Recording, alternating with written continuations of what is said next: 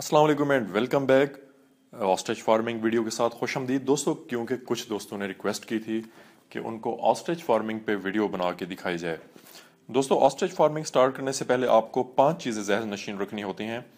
ان میں پہلے نمبر پہ ہے آپ کا مقصد۔ یعنی آپ کس مقصد کے لیے آسٹریچ فارمنگ کرنا چاہ رہے ہیں؟ جیسا کہ کچھ لوگ شوقیہ کرتے ہیں آرنامنٹل پرپز کے لیے کرتے ہیں یا یعنی نمیشی پرپز کے لیے کرتے ہیں۔ وہ تو آپ کے لیے تھوڑا سا آسان ہو جائے گا کیونکہ ایک یا دو برڈ سے آپ کا شوق پورا ہو سکتا ہے۔ اگر تو آپ کا دوسرا مقصد ہے یعنی آپ اس کی میٹ کی سیل کرنا چاہ رہے ہیں یعنی کہ اس کے میٹ کی مارکیٹنگ کروانا چاہ رہے ہیں، تو وہ تھوڑا سا آپ کے لیے مشکل ہو جائے گا کیونکہ اس میں آپ کو اچھی خاصی انویسٹمنٹ چاہیے ہوگی اور ایک عدد مطلب زمین کا ایک خاصا بڑا ٹکڑا بھی چاہیے ہوگا کیونکہ یہ خاصا بڑا برڈ ہے اور ایگریسو بھی ہوتا ہے، تو آپ کو ایک سیپریٹ لینڈ کا ہونا بڑا ضروری ہے اور اس پہ اس لینڈ پہ آپ کی جو ہے فینسنگ کروانا بڑی اشد ضروری ہوتی ہے۔ ایک موٹے گیج کی جو ہے وہ آپ وائر گاز جس طرح آپ کو ویڈیو میں نظر آ رہی ہے، اس طرح کی آپ وائر گاز لے کے جو ہے اس کی قد سے تھوڑا سا اونچا یعنی اگر آپ دیکھیں تو جو ایڈلٹ ایڈلٹ ہے اس کا میل ایڈلٹ ہے آسٹرچ کا، تو اس کی ہائٹ جو ہے اڑھائی میٹر کے قریب قریب ہو جاتی ہے۔ تو آپ کو تین میٹر ہائٹ میں جو ہے وہ اس کے لیے فینسنگ کروانی پڑے گی۔ تو وہ ایک اچھا خاصا جو ہے وہ آپ کا کاسٹلی کام ہو جاتا ہے، لیکن ونس فار آل ہے۔ اور جو دوسری چیز ہے، دوسرے نمبر پہ پوائنٹ آتا ہے، وہ ہے آپ کی مارکیٹ اسٹڈی یعنی آپ آسٹریچ فارمنگ جو کروا رہے ہیں، آپ کا علاقہ کون سا ہے؟ اور وہاں پر آسٹریچ کی جو ہے وہ آسٹریچ کی میٹ کی ڈیمانڈ کتنی ہے؟ اگر تو آپ میٹروپولیٹنس جیسے کراچی ہے، لاہور، اسلام آباد، فیصل آباد یا دوسرے بڑے شہر ہیں، جہاں پر سٹار ہوٹلز موجود ہیں، وہاں پر تو اس کی میٹ کی جو ہے ڈیمانڈ اچھی خاصی ہے۔ اگر آپ چھوٹے قسموں میں رہتے ہیں تو تھوڑا سا آپ کے لیے ٹرکی ہو جائے گا اس کی فارمنگ کروانا۔ یعنی آپ کو وہ اتنا پروفٹ نہیں دے سکے گا جتنا آپ کو بڑے شہروں میں مطلب پروفٹ اس کا ملتا ہے۔ یا دوسری صورت یہ ہو سکتی ہے کہ آپ اس کی جو ہے وہ سپلائی ہے، وہ بڑے ہوٹلس تک مطلب پہنچائیں، ان کو، ان کے ساتھ کوئی ایگریمنٹ وغیرہ کریں، تب آپ کو جا کے اچھا خاصا جو ہے پروفٹ اس کا ہو سکتا ہے۔ اس کے بعد دوستو جو ہے وہ آپ کا جو پوائنٹ آتا ہے کہ وہ آپ نے چیکس لینے ہیں یا ایگز لینے ہیں؟ اس کا ایگ خاصا بڑا ہوتا ہے یعنی آپ کہہ سکتے ہیں کہ ڈیڑھ کلو تک اس کا ایگ جو ہے وہ وزن میں ہوتا ہے۔ یہ دیکھیں، میں نے ہاتھ میں اٹھایا ہوا ہے اور اس کا جو ہے وہ خاصا مطلب وزن ہے۔ یعنی ڈیڑھ کلو تو ہے ہی ہے۔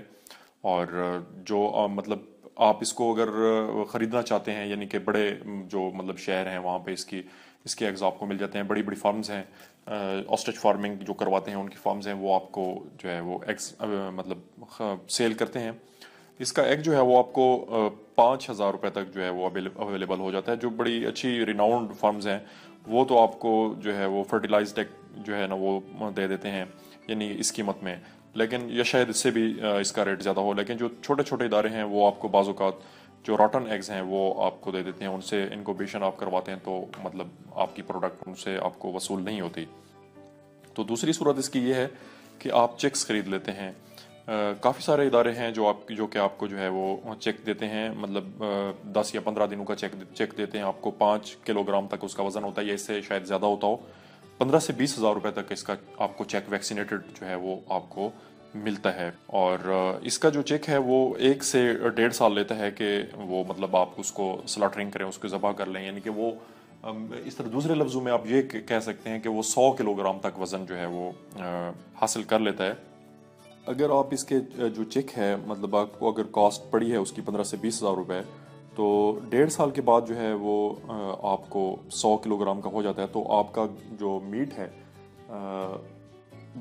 ہزار سے بارہ سو یا تیرہ سو بھی ایون آپ اس کو سیل آؤٹ کر سکتے ہیں۔ تو وہ آپ کو اچھی خاصی جو ہے وہ اماؤنٹ دے جاتا ہے۔ یعنی کہ پندرہ سے بیس ہزار اگر آپ کی اس میں فیڈنگ کی جو انویسٹمنٹ ہے یعنی تھرٹی تھاؤزینڈ پر چیک آپ کی فیڈنگ انویسٹمنٹ ہے، تو پچاس ہزار روپے بنتے ہیں۔ تو آپ کا ایک لاکھ دس ہزار یا ایک لاکھ روپے میں آپ کا وہ چیک سیل ہوتا ہے۔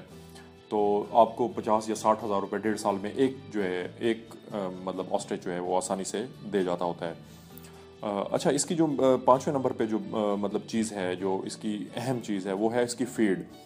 تو آسٹریچ جو اب جب جیسے ہی آپ آسٹریچ کا چیک خرید کے آتے ہیں یا انکوبیشن کرواتے ہیں، تو آپ کی، آپ کے پاس اس کی فیڈ کا ہونا بڑا اشد ضروری ہوتا ہے۔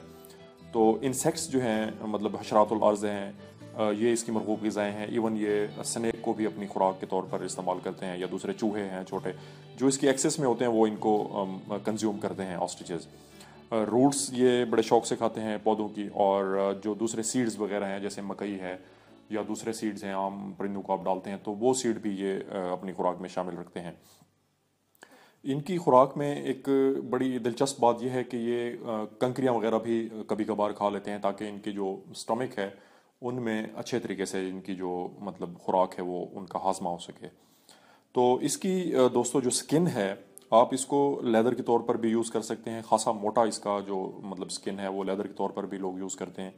اور اس کی سکن سے بھی آپ اچھے خاصے ریونیو جنریٹ کر سکتے ہیں۔ تو دوستو، یہ کچھ میں نے آپ کو پوائنٹس بتائے ہیں۔ ان سے، ان کو مطلب آپ انٹرٹین کر کے، ان کو، ان کی اسیسمنٹ کر کے آپ دیکھ سکتے ہیں کہ آپ کتنا بڑا کاروبار، کتنی بڑی فارمنگ آپ اسٹیبلش کر سکتے ہیں آسٹریچز کی۔ میں آپ کو یہ بتاتا چلوں کہ یہ خاصا پروفیٹیبل بزنس ہے۔ اگر آپ کو اس کی مارکیٹ اویلیبل ہو جاتی ہے، اس کے میٹ کی جو مارکیٹنگ ہے، وہ مطلب آپ کو کلائنٹس مل جاتے ہیں۔ تو یہ آپ کو راتوں رات امیر کرنے والا جو ہے وہ بزنس ہے، کاروبار ہے، اور یہ اچھا خاصا جو ہے نا آپ کو پروفٹ دے سکتا ہے۔ تو دوستو، اگر آپ کو یہ ویڈیو اچھی لگی ہے تو اس ویڈیو کو لائک اور شیئر ضرور کریں، اور میرے چینل کو سبسکرائب کرنا ہر قسمت بھولیں۔ Thank you very much for watching this video اللہ حافظ۔